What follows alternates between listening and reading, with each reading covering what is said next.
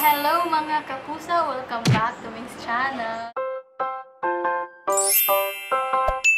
So, gagawa na naman tayo ng...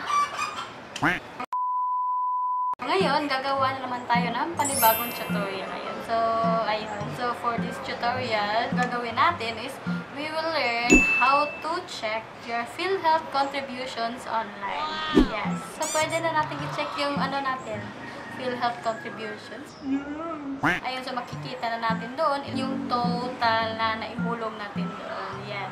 Bago natin simulan tong tutorial na to, don't forget to subscribe to my channel, Ming Ayupa, so this the one. Also to my Facebook account. So, meron din. Yes. Ayun, so wag na natin patagalin pa. Let's do the tutorial. Yes. Ayan, so mga kapusa, una nating gawin is punta tayo dito sa google.com at i-type dito sa search bar PhilHealth Online. Ayan, so pag nakita nyo na, click this one. Ayan, so makikita na natin dito yung online services PhilHealth. So gawin natin is we'll click okay. Ayan, so welcome to my PhilHealth portal. Ayan, so may mga options nila dito. Meron dito yung membership, yung benefits, contribution, collection, and the accreditation. Ayun. Second natin gawin mga kapusa is mag-register tayo by clicking this one. Ayan. So, welcome to PhilHealth Member Portal. Ayan. So, pag member na tayo dito sa PhilHealth Member Portal, so pwede na tayong mag-login using our PhilHealth identification number, password, and the CAPTCHA. Ayan. Click lang natin yung login. Ayun, so kung nakalimutan niyo yung password ninyo, click niyo yung forgot password. And kung wala pa kayong account, we'll go to create account. Ayan, so pag mag-create na tayo ng account, makikita natin dito yung member portal account creation. Fields with asterisk are required. Ayan, so nakalagay dito sa itaas, basic information. Ayan, so gawin ko muna rito is i-fill up ko tong form na to. So nakalagay dito mga kapusa, yung PhilHealth identification number. So lagay nyo dyan. Then, lagay nyo yung last name nyo, yung first name, yung date of birth, yung sex ninyo, yung email address nyo, and your mobile number.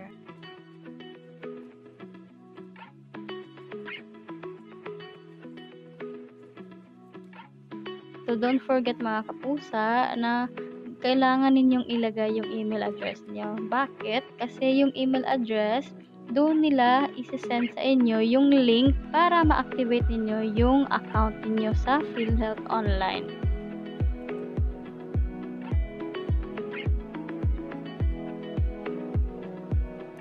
So, pag natapos nyo ng i-fill up tong basic information, so next, we'll go to login information. Dito sa login information, so dito natin gawin yung password natin. Ayun, so basahin ninyo mga kapusa yung mga requirements nila para makapag-proceed na tayo sa ating account creation.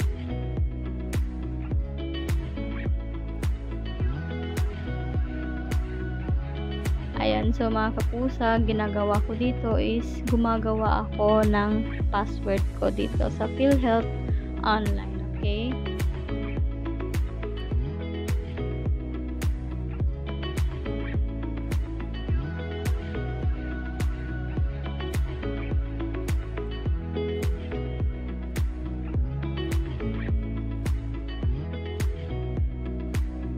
Ayun, so next, pag natapos na yung password nyo, so enter the number shown above. Ayun, so kailangan yung nakalagay dito na number is may lagay natin dito sa box. Ayun, so nakalagay dito 440127. Ayan.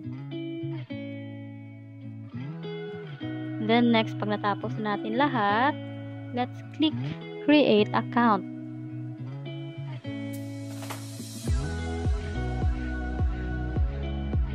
So, ayan. So, andito na tayo sa Member Portal Account Creation. Activate your account. To complete your account creation, we have sent a link to email. So, please check your email to activate your account. Ayun. So, third step is we'll go to our email account.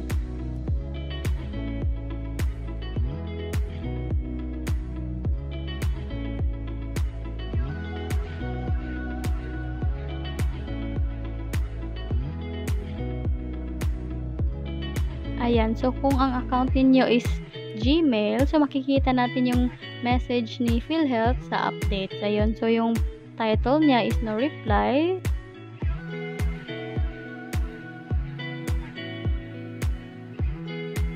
Ayan, so nakalagay sa message is you have successfully created your account, date and time.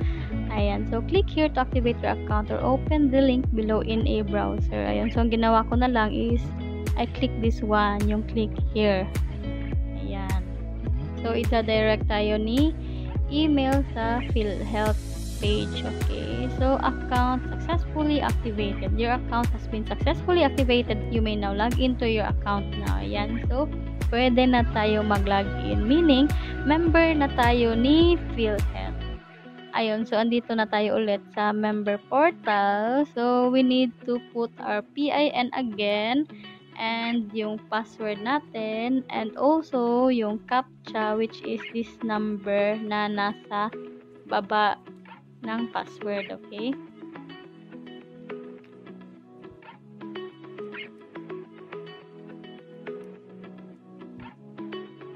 Ayun, so pag natapos na nating lahat, is we'll click login.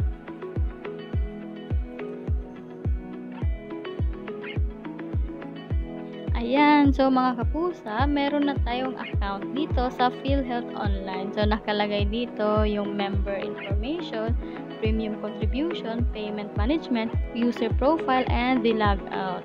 Ayan, so kung i-click natin yung member information, so makikita na natin yung information natin, okay? Ayan. So next is premium contribution kung i-click natin,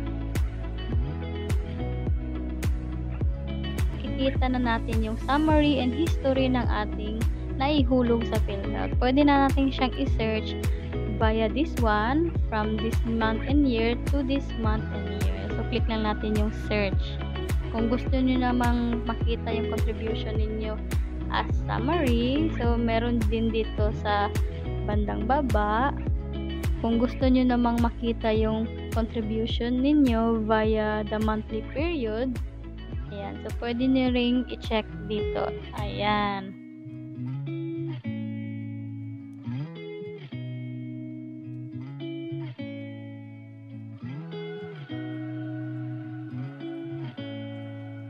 Ayun, so pwede nyo talagang i-monitor via this online. Next is the payment management. So, nakalagay dito is yung generate SPA and the view SPA history. Ayan.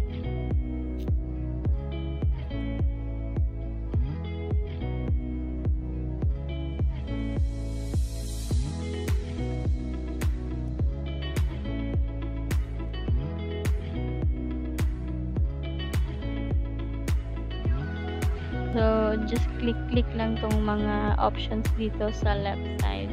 Ayan.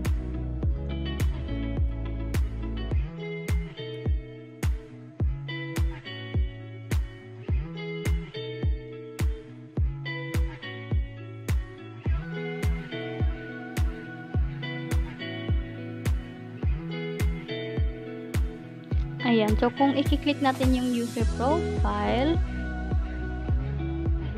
makikita natin yung PIN natin, yung email address, and the mobile number. Ayun, so kung gusto nyo namang i-change yung password nyo, so may option dito sa gitna, just click this change password. Ayun. So lastly, kung gusto nyo namang mag-log out, just click this log out. Ayan, so we're done na mga kapusa.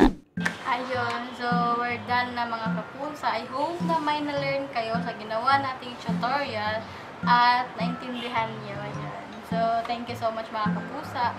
Don't forget to like, subscribe, and click notification bell para sa mga upcoming videos ng Ming's channel. So, see you soon guys!